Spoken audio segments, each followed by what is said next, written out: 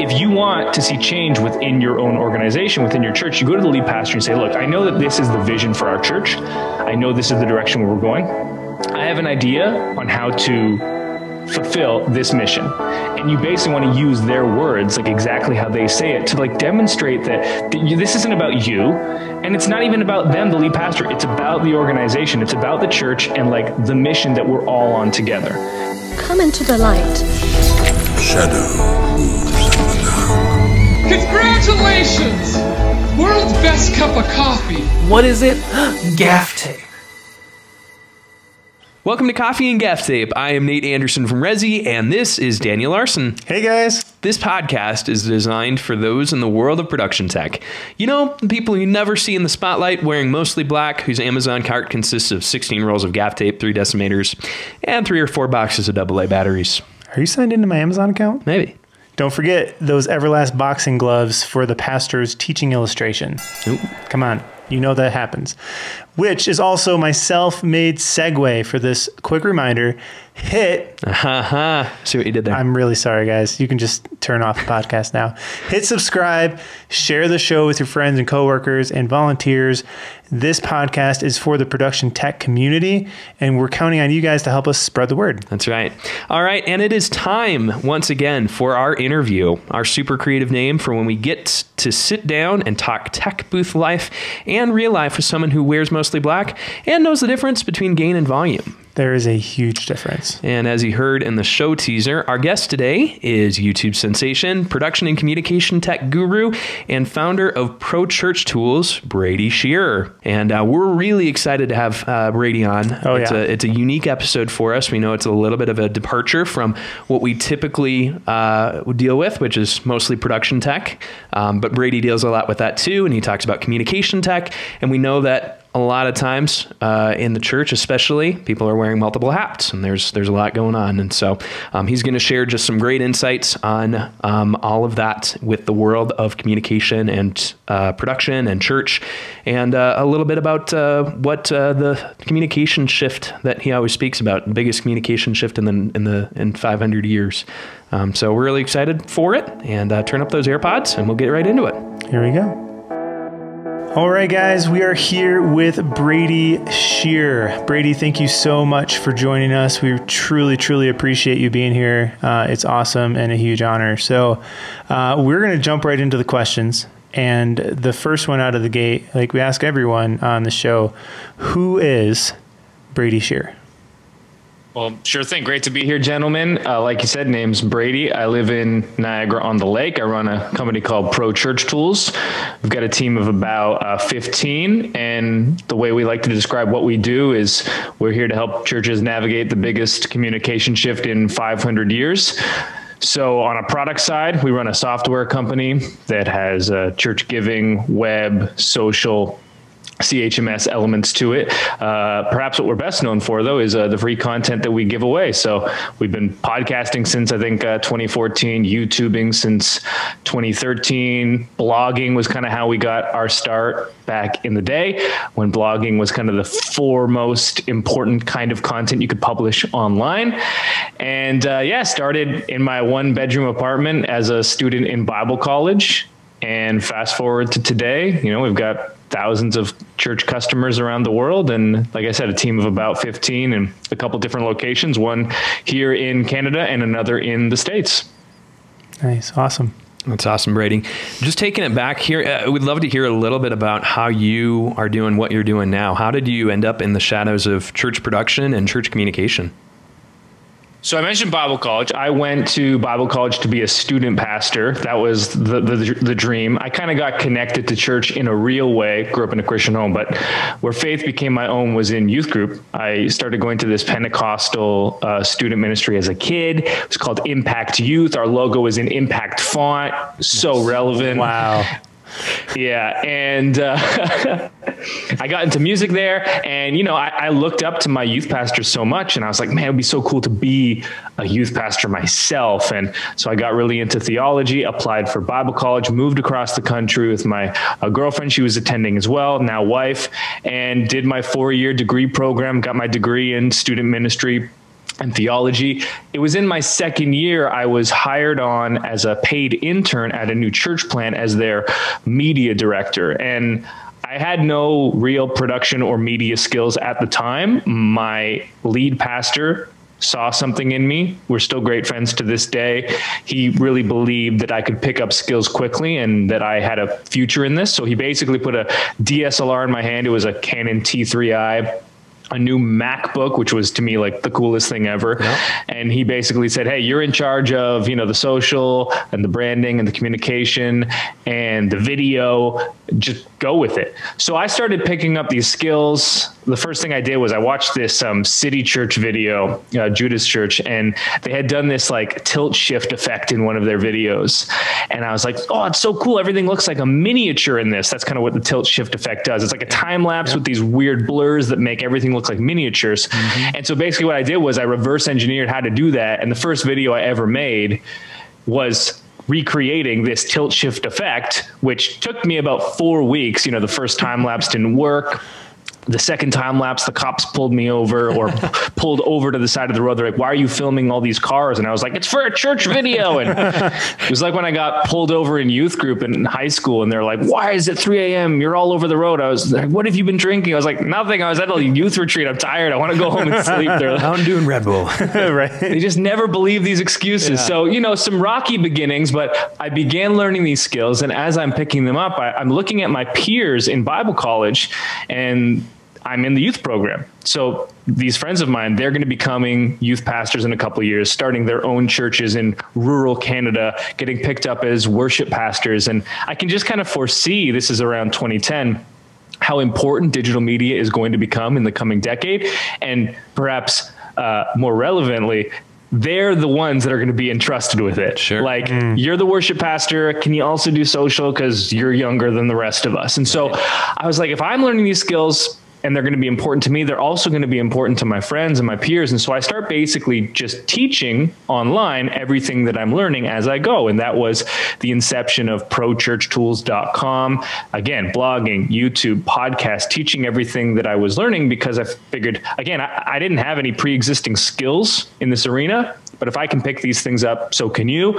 And they're going to become increasingly important. So let's learn them together. Wow.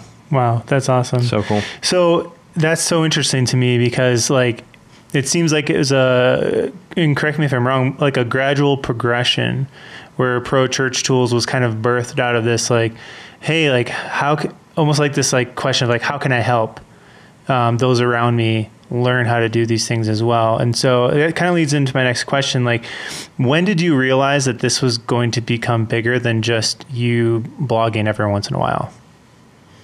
Well, the secondary vein of kind of my pursuit of pro church tools was that I was living in Edmonton, Alberta, Canada.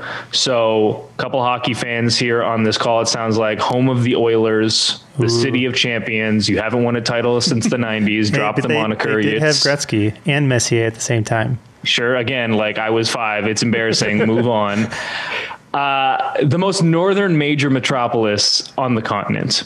I am Canadian. I live in currently basically as far south as you can go in the country. That's not an accident. It's an overcorrection from living in Edmonton for four years. My wife and I, we just could not take these eight month winters. They do not plow their roads there, guys. Oh. They just say, like, good luck. You're probably in a four by four truck. No, I'm in Bible college. I'm in a 96 Chevy Malibu with right. summer tires. Uh-huh and so I, I truly had a traumatic experience living there, commuting every morning to drop my wife off at this life sucking insurance job so that we could not go into debt to complete Bible college. Anyway, I kind of get sucked into this like idea of an online business that you can run from anywhere that doesn't require you to commute and so I basically just kind of fell in love with this like entrepreneurial idea where the online world could be what facilitates this. You know, I, I, did not have any business expertise, still have very little except from like what's on the ground actually happening in my company. And so it was kind of this confluence of two ideas, like pro church tools being what I just described, but also like I realized I probably didn't have the relational bandwidth for full-time pastoral ministry at least in a youth context.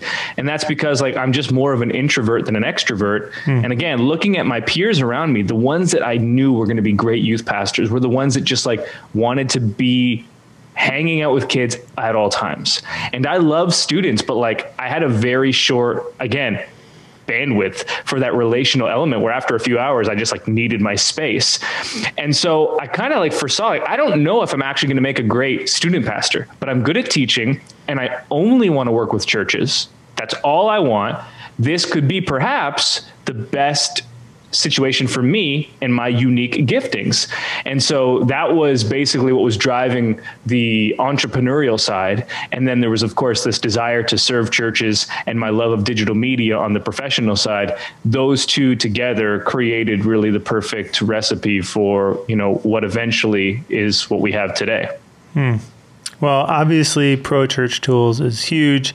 It's making a huge impact. Uh, if you could summarize this journey, uh, maybe like how does what what makes Brady get out of bed in the morning now uh, when it comes to Pro Church Tools and helping the local church uh, from a communications aspect? I mean, I, I just it's not lost on me how easy it is like as we live through this massive communication shift to just kind of get used to it. It's like this is just what everyday life is. You know everything's relative to all people and so it's very easy to just get used to like what your daily life looks like. But if we think about the platforms that exist today and how many are so pervasive in our daily lives. So whether that be Google, Facebook, YouTube, Twitter, TikTok, Snapchat, Dropbox, Spotify, Airbnb, uh, Google Maps. You know, I grew up using MapQuest. Like, well, that's not a thing anymore. um, like those platforms, none of them existed prior to 2005. And like, I know that's 16 years ago, but in like global economics that's an instant. And yet like those are the companies that are driving like so much. Like i didn't mention tesla as an example and how the automobile industry is being upended. Every single industry is being massively disrupted. And we're still in the very early stages of that. Uh, TikTok has been a huge just passion of mine over the last year or so because it was really the first social platform that like I got on and I didn't get right away because I wasn't like in high school or like in my early 20s when I got on it. And it's really taken me like a year or two to truly grasp like what makes the platform unique and special. But what's been a fascinating kind of like side journey in that is seeing this new generation, Gen Z, they're going to be like the first generation that grows up like in a completely digital world essentially because like their earliest formative memories sure maybe they didn't have the digital world or social but like it was like before they were 5 years old whereas my generation like our generation we're kind of the last ones that are kind of straddling like we remember like I grew up with one of those phones that like you had to like turn with your hand Yeah, like exactly. manually. What are those called? Like a rotary phone? I don't even know. Like I actually had that in my house. Remember when your phone Not had to to be attached to the wall? yeah, exactly. Yeah. Like the number of phone models that we've gone through in our lifetime, like I, probably half a dozen different phones where like the new model came out and you're like, cordless? wow. Like we got to charge it on the base, but I could walk around the house. Like I can play Snake on this Nokia mobile device. This is amazing. I think now we have computers in our pockets. So like when you actually take a step back, you evaluate how fast, how dramatic, how colossal this communication shift is. It comes with a lot of like, it's the change is tough, it's uncomfortable. But on the flip side, the opportunity that is there to take this timeless message of Jesus, and the hope of Christ, and share it through timely mediums is greater now than ever.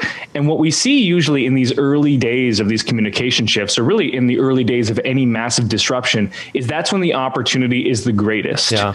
You know, if I started Pro Church Tools today in 2021 and did everything identically, I don't know if I would be able to make the same impact or achieve the same quote unquote success as when I started in 2011, hmm. just because timing is so important. And like, I did not choose to be born in 1991. I had no control over that. I did not choose to be born in North America, where like I've had so much opportunity with tech and, and that sort of thing. So I just try not to take it take for granted like the amount of opportunity that exists right now, how it won't always be this way, and how we have more ability to like affect life change on a global level than not hyper not hyper uh, hyperbole to say this any generation that came before us Sure. so when i think about that like it's just gratitude for being alive during this time you know to quote my countryman drake what a time to be alive let's go get it there you go. It's awesome, man. I love it, and I love you know the one one thing I love to hear just over and over from you, Brady, is like how do we um, engage in this shift? How do we be a part of it? How do we not be reactionary to some of these things that we see happening around in the world around us, and how do we take hold of it and take it as an opportunity? Um, you know, what what what would you say? Being at the beginning of this massive communication shift, and, and especially even this past year, what does the future hold for churches? Well, I think hybrid ministry is probably going to cement itself in in some capacity. The pandemic has basically served as an accelerator of what we were already seeing, and this kind of gets into just church attendance overall and and how churches fulfill their mission, which to me is probably the most fascinating discussion because it's really the bedrock that inspires and motivates everything that we do. And for the last century, two centuries, Eh, we've required and demanded people to come to us to affect life change. And, you know, 18 months into a pandemic, don't hear me wrong, like in person ministry is vital, it's necessary, and it can never be replaced but we've been seeing a decline in church attendance since 2010 in a pretty dramatic way that we've really never seen in the prior 100 years in, in this continent anyway. And that does coincide quite neatly with the rise of digital platforms. Now, correlation doesn't necessarily equal causation, but I think there's something there. And so, hybrid ministry, what I mean by that is finding ways, again, to take the timeless message of Jesus and share it through timely mediums. And if you look at church budgets, we have invested the vast majority of our time, money, creative energy, volunteer resources into a one hour in person event. Yeah. And pardon me, I just don't really think that that's uh, necessarily a wise allocation of resources. Again, not to downplay the importance of in-person ministry, Right. but if you just look at the allocation of funds, like it's greatly imbalanced. Now, right now in a pandemic, maybe where I am, where there's still lockdowns in effect, we are feeling the other side of that imbalance. Where we're not allowed to meet in person the way we wish. And so it's kind of probably a little bit obtuse to hear me describe it that way. My hope is we come out of this and we can pursue after a more balanced framework or balanced paradigm for ministry because Gen Z, millennials, we just don't connect to church in the same way as previous generations. We are a product of our environment. And so mm-hmm. I like to think of it as like waves in the ocean. You can be that person that like stands in front of the wave. You can yell at it. You know, you can say that I'm not going to be affected by this wave and you can let it crash over you and knock you over. Maybe the first one doesn't, but eventually they get big enough where you get knocked over. Or you can try to ride the wave like a surfer would. The wave is going in one direction. How can you go with that momentum, go with the inertia of the wave, and use that to propel you forward in affecting life change? So, again, like the mission of our churches, said simply, is to affect life change. There are many different ways to do that. And there are more ways to do that now than ever before. We can argue about, like, should I engage in this method or should I engage in this one? And every church will differ. But I think that the more effective we can be, it's going to require us to embrace more avenues and that again is that hybrid ministry uh, model that i mentioned Yeah, I love it. I, I love the idea of just getting out of the paradigm, like you're mentioning, of the weekend service, the typical way that we think of church, especially, um, you know, our generation and the ones before us. And it seems like now we have this opportunity in the, this time where we can really def- redefine what ministry opportunities look like and what outreach looks like and how we do that, which will be really cool. Yeah, no, absolutely. The church I used to work at, we, we would often say, church as we know it ain't going to cut it. Yeah. And in a lot of ways, I feel like that's what you're talking about here, Brady.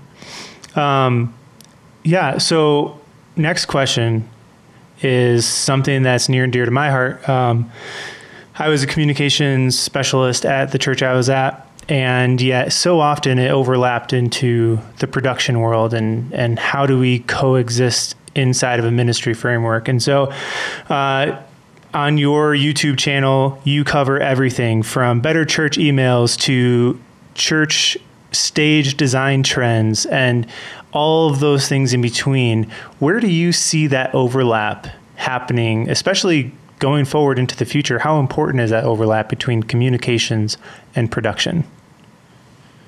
Well, for me, like everything starts with communication because communication is the verbal embodiment of your church's mission.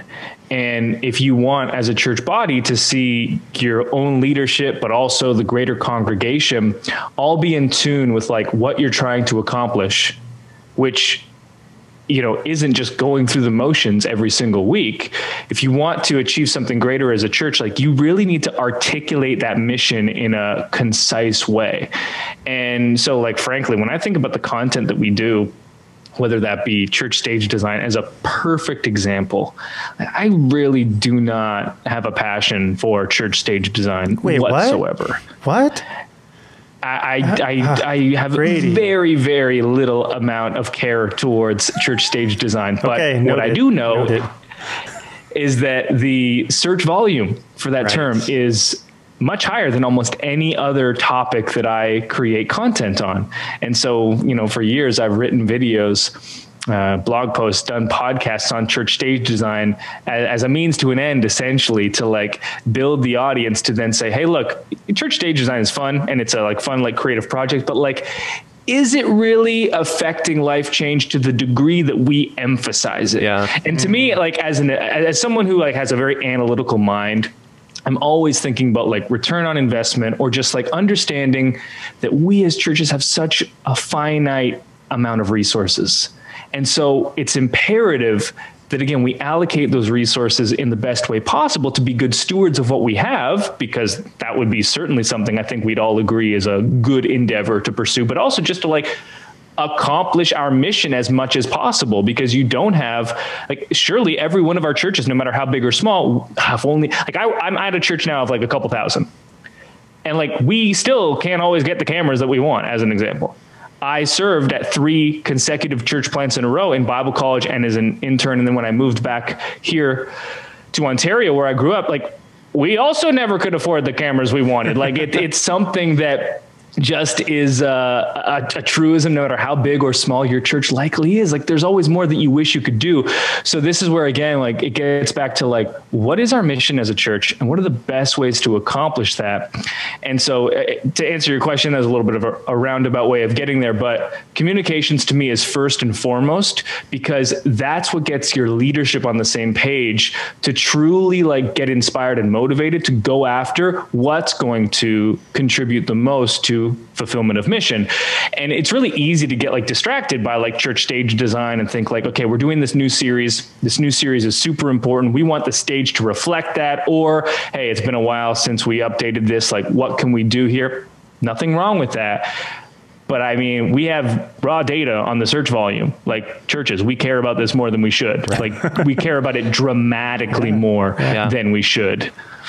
Wow, that's good speaking towards things, you know, if, if we'd say in the church industry or you, you know, you have this audience that you speak to, and I, I, I know often um, we see the content from you about, hey, churches, stop doing this, or churches, you know, if, if you're going to hear me say one thing, do this this one thing. What would you say uh, is is is you know one thing that you wish you could change about um, the industry that you're trying to serve, if we call it, you know, that? Well, I'd start with changing human nature. This isn't uh, exclusive to churches. Mm-hmm. I think it's true of any entrenched industry. We see this in education. We see this in healthcare. We certainly see it in politics, which is just like, hey, we've always done it this way. And it's going to take a lot of hard work to do it another way. Like, as one super relevant example, timely example, I mentioned TikTok. Anytime a new social platform comes around, we will focus on all the reasons not to embrace that platform and we'll turn a blind eye to perhaps the same issues or same concerns of current platforms that we're on. Hmm. That's human nature because something is new. We, by nature, are going to be less likely to engage with it because it's new. It's unfamiliar. When something's unfamiliar, we're just that much more likely to deem it as dangerous. Right. Which, when we when you think about it, it's like, oh, that's pretty like simple. Like that's a little juvenile, but that's that's just how we exist. It. It's yeah. just how we're how we're wired. Mm-hmm. So like so, a person, I was talking with them on Twitter recently, and they said. Um, you know, I, I can't in good in good sound logic or uh, as a sound mind, sound conscious, just go on TikTok because like we know there are child predators there. Mm-hmm. And I said, "You have a huge Instagram account." Like and then I sent her a police report that was from this year in Michigan, and these Michigan police officers were like, "Yeah, Instagram is definitely the worst place we've found wow. for child predators." Mm. And, and, that, and I wasn't using it as like this is a definitive proof that yeah. you're right or wrong, right. but more just to like illustrate the double standard that we use. Like we are not applying our conscience consistently. Yeah. So then to use the conviction like trump card to say I will not do this out of conviction is like, mm-hmm. well, you're not applying that consistently. So let's not call that conviction. Let's just call that you're familiar with something. You're used to it. You're afraid of this new thing. That's okay, but let's just call it that because once we can expose that for what it is, then we can approach it with a more sound mind and start evaluating something based on its merits rather than our own familiarity. And yeah. when we do this in everything in church, like we're familiar with this. For years, we saw this with mailed printouts versus social media advertising. So I could go to a church and I could say, we know you can spend 10x less on social advertising, meet uh, reach 10 times more people and it'll be 10 times more effective. No, let's not do What that. do you want to do? No. Well, we've used the local mail printout agency for years. So we're going to send, uh, we're going to spend 10K and send, you know, 2,500 mailers to our neighborhoods. Like, well, has that worked in the past? No, but it's what we do every Easter. It's yeah. like, okay, this is a frustrating conversation for me at this point. Mm-hmm. yeah, you, you just seem so calm right now. I mean, it's just. You're, you're you're giving me these leading questions like Brady. If you could change one uh, thing, you know what? I, they, I, that's one of the things I love most about just when I when I get to see the, the the Twitter conversations or whatever. I know when I I see a Brady Shearer Instagram story and that's like a screenshot of somebody's response to you. It's like yeah, they're uh, you know it's it's usually something that's. Uh, a, a, bit of a reactionary, uh, um, you know, misunderstanding or something that. Well, um, I think what's cool is it's just proof again of like how much you care and yeah. where you've came from. Mm-hmm. and how like deep seated that passion is to help the church and to see uh, the church use uh, mediums that are readily available right. to to spread the message of jesus. So definitely. So so cool. Well and and just to just, just you know, just to justify myself a tiny bit more, like, oh, please, please. One of the things I noticed when I started creating content in the church world, like I dipped my toe in, in like, you know, 10 years ago, it's like it felt like we would have a lot of conversations where where people didn't really say what they thought. Yeah, exactly. And mm. it's like you you sound polite and it and it sounds like you're like agreeing with me, but I can tell you don't. Right. It's like this isn't going to lead to progress. Like I think there's a book right now. I have not read this book, but I've seen a lot of people talk about called Radical Candor. And I think the idea behind the book, as I saw summarized by someone, was like say something with great care for the other person, but also like say what you truly feel. Right. And it's like there's that one person we all know that's like, listen, I just say it how it is, but like you're a jerk when you do it. and we don't want that but we also don't want the overly polite person that never says what they truly feel right. and are like usually just very bubbly about it because that's just just as bad, maybe even worse because yeah. there's a deceptive element to it. Sure. If we can say these things plainly, backed by data ideally, mm-hmm. but we can say them with great care for the other person and with empathy, recognizing that like, look, I understand that the average lead pastor in the evangelical world is like upper 50s, early 60s.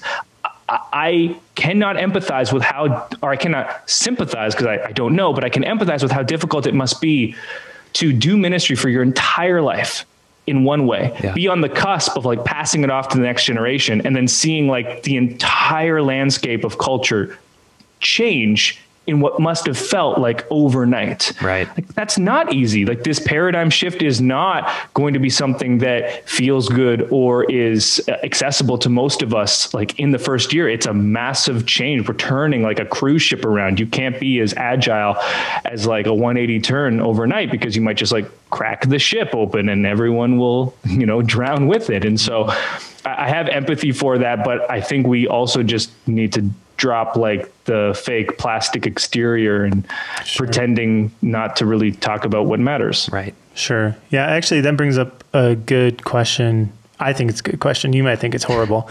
Uh, a lot of times, what happens in, in the tech world, uh, especially in churches, uh, you know, the production side of things kind of sees the writing on the wall and they say, man, we got to change something. We got to do something different. We need to implement this piece of equipment or strategy or medium or platform in order to like expand our reach.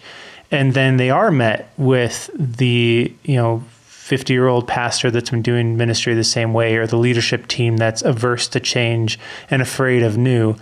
Do you have any advice Yeah. uh, to someone in the production world trying to lead change while not in a leadership position? Yeah, absolutely. So, uh, the framework I'm about to share, I got from a lead pastor. I can't take credit for it. I basically went to a lead pastor and was like, okay, someone wants to affect change as like a person that is employed by you. How do they go about doing it? And so, this was the framework they gave me. So, the first thing you want to do is you need to anchor what you're asking for to the mission of the church. Because if you are the lead pastor, you have this vision for what you want to accomplish. And, and, ideally, that vision has been well articulated with the rest of leadership. So everyone's understanding here's the direction that we're going. So if you want to see change within your own organization, within your church, you go to the lead pastor and say, look, I know that this is the vision for our church. I know this is the direction where we're going. I have an idea on how to fulfill this mission. And you basically want to use their words like exactly how they say it to like demonstrate that, you, this isn't about you and it's not even about them the lead pastor. It's about the organization. It's about the church and like the mission that we're all on together. And then you can even say like i have a way to achieve it that's like not going to cost a lot of money and might even like be achieving it more uh, quickly than in ways that we're doing currently. Then you explain the idea that you have. If there's a cost element, one practical thing that you can do is like lay out three different pricing ways of doing it. There's the cheap way, there's the medium way, there's the expensive way. The lead pastor told me, he's like, the key here is like the expensive way is not what you could ever realistically do. And also, it's not what you want. Put the one that you want as the middle one. and this is like classic philosophical price anchoring. Yeah. It's like put the what you want as the middle one. This person wasn't always a lead pastor. I guess they used this and it was effective when they were uh, They were in sales When you- first. yeah, the one you want is the middle one. The expensive one is like what maybe the lead pastor perceives as the one you want, but is like so far out of the budget, is like not realistic whatsoever. You know, the medium one is exactly what you need and good enough. And then the low one, you have to put in such a way where you're like, we could go this way, but we may as well not even attempt this if we go this way because we just won't have what we need to do it. Uh, and then what you want to do is basically prove that your thesis was correct. Because so much of affecting change when you're not in charge is equity with the people that are in charge. Mm-hmm. When I first started as a media director, like I spent every night that I could learning how to do that one simple tilt shift effect because I know that my pastor was inspired by that video because he's the one that shared it with me. He's like, "Was this is a really cool vision video. Your first big project is to do a vision video for our church plant." I knew he was inspired by that. And so I was like, "Okay, I want to prove to him that like him hiring me as this media director like was not a poor decision and I want to like go past his own expectations for me and like prove that I can do this. And then once that I did that and like blew him away with the video that I had made, I had a little bit more equity the next time that I asked him for something. And so this is also where understanding like your place in the church and how long you've been there is important. You hmm. don't want to come in and within the first year try to do a ton of things. You might not want to even do that in the first 2 years if you have not been at your church for more than a couple of years like you probably want to table this and wait uh, until you've like built up a bit more of that equity with your leadership because once you have that equity that really is like the prerequisite needed to even attempt this process. Uh, otherwise you might come off as like that hot shot that new guy that's like everything's broken at this church. And i know you've been serving this uh, local congregation for years but what you don't understand is that you're doing it all wrong. And then Yeah. you come in with that attitude and it's it's it's likely not going to go well i don't i wouldn't expect I don't know. Yeah. There might be a chance. There, uh, there could be. A, no, not at all. Um, and I, I love that. I, I think that's just a great reminder, though, too, that you know it's like so much of we do, what we do, especially when it's wrapped up into something like church, where it is so personal. It it it becomes so much of something that's tied into our identity Yeah. and tied. It's you know we take it as an insult on ourselves when somebody says no, and they probably feel the same when you're you know trying to change or affect change in the way that they do ministry. So just respecting Sure. that balance and understanding, I think, is really great. Yeah. No, absolutely. I think that's where that empathy piece comes in as well. Prior to going into those kinds of meetings, Brady, I'm sure you probably agree, is like try to put yourself in their shoes so that you come in uh, understanding where maybe they're at. And so maybe you can help kind of bridge that gap um, between what you're asking for and what they feel like they can offer. And it's also okay to just know like you're not going to accomplish everything you want in one conversation. Yeah. Sure. You know, this isn't like, okay, we're going to sit down, we're going to do our 30 minute meeting over Zoom or in person, and like we are going to, I'm going to get what I want. Like, that's not an expectation that's probably reasonable to hold. You've got to think about this as like, okay, uh, maybe I might need to prove that this can be done with zero budget, with zero time given. Yeah. Like, maybe I have these responsibilities and I need to go above and beyond. And, and we have to be careful with this in church, you know, because like often we as individuals are stretched way too thin. And so I'm not advocating that you do something that would be like harmful to your own soul or spirit uh, because you're already doing too much. But if you don't have that equity, let's say, and you want to fast track it, the way to do that is to like go above and beyond and prove that like hey what i'm saying like i know what i'm talking about in this respect because look maybe this lead pastor they they've been burned in the past and they might be a bit of a micromanager more than you would prefer. Uh, and, and they're making calls on creative things that you're like in your head. I don't I, you do not have the expertise to make this call. Like, why are you asking me to change the font? Like, no, the kerning on this font is is atrocious. Like, I know you saw it on another church's thing, but like, it was bad for them. It's just as bad for us. Like, Just because they use Comic do- Sans doesn't mean we need to use Comic Sans. right? And it's like, let me do what I need to do. Well, maybe they've been burned in the past, right? And so, like, again, uh, so much of this, uh, like Nate just said, it's like it's dealing with people. And uh, and and and that's why I, I don't do it. I don't have that relational bandwidth. You know, I just make YouTube videos. That's awesome. All right. Uh, so we were talking about, you know, people in production, people in communications having too much on their plate, wearing multiple hats. What would you talk? Uh, what would you say to a tech director on the verge of burnout? Yeah, or even communications person for that matter. Anybody who's involved in the church. Yeah, someone Yeah. Mm-hmm. in ministry, they're they've taken on way too much. They're being asked to wear multiple hats. They're up late at night. They're rarely home. All this different stuff. We know what happens in the church, and, and a lot of times it can be cloaked in like I'm doing this for Jesus, and you know, and so often we see that lead to burnout. Um, you know, you're sitting across from someone at a you know Starbucks or whatever. I don't know if we can do that anymore. But what do you say to them to help help course correct? so uh, the question I always ask myself internally, and I really can only say this from personal experience because I, I can speak pretty authoritatively on a lot of things that have to do with social and digital and platforms that have been around for 10 years because I've been doing them for 10 years. So like I've been doing them as long as you can basically be doing them. I'm 29 though. So to say like I could be speaking authoritatively on, on burnout and like work life balance, like that's not true. So I, I'll just say from personal experience, the question I ask myself and my friends is like, how's your soul? And usually for me at least it's got less to do with my workload and more to do with like how i'm taking care of myself in all the other areas of life so maybe i'm more sensitive to this than others but like my diet needs to be precise for me to work my best.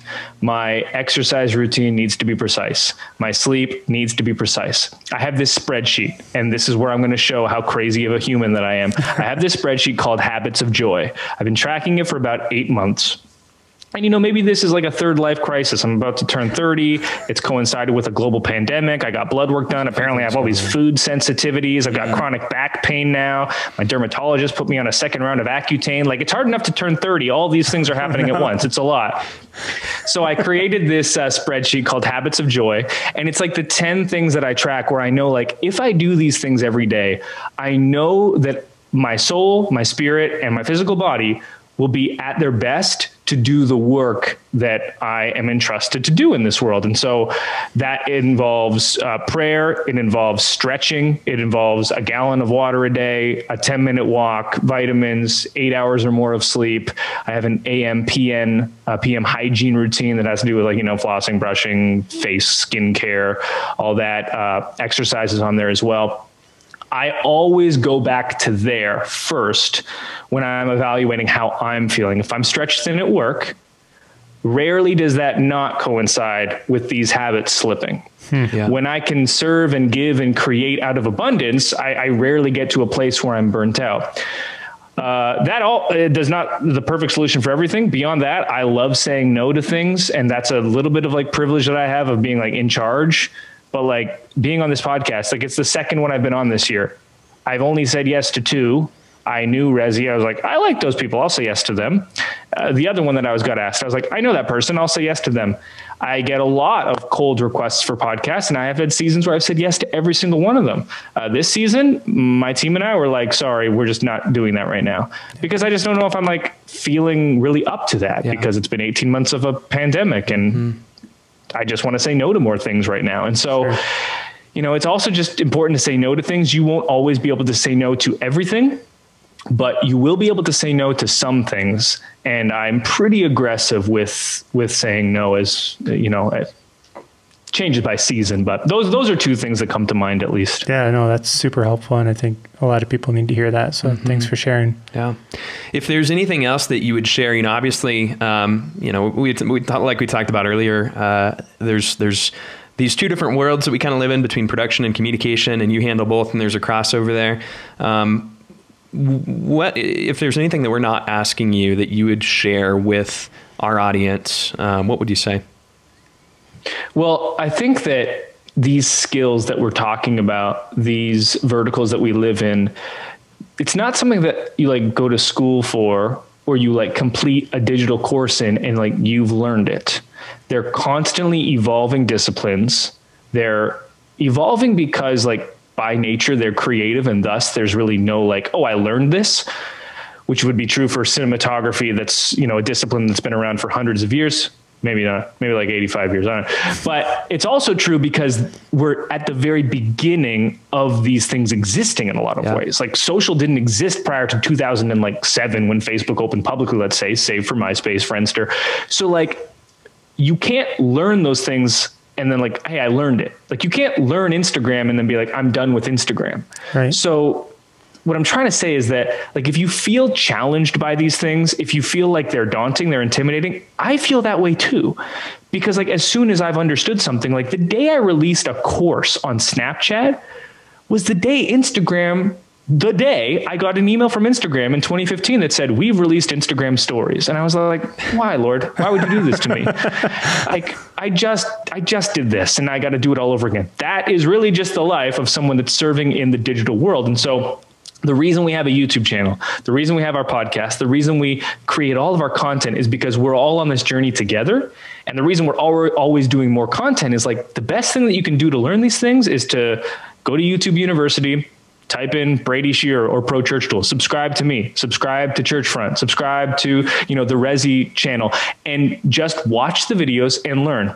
It might be hard to believe this, but prior to 2020, I had never really ever taken a photo on a camera.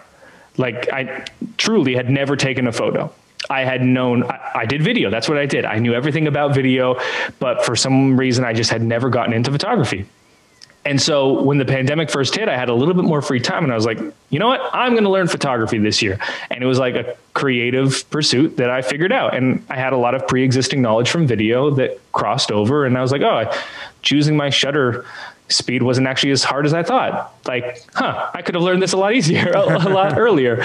But even for me, like, I'm always learning new things. I'm always trying to like figure out what are the latest little tweaks. Like, all these platforms have their own languages, have their own unique cultures that are slightly different. And the really only way to become good at them, to take that timeless message of Christ and share it through timely mediums is to be like an active practitioner on these platforms. It's just watching, paying attention, making notes, and then truly publishing. Like you got to publish something. It's got to go well. It's got to go poorly. You've got to learn from that, get the feedback, reverse engineer what did well, what did poorly, and do it again.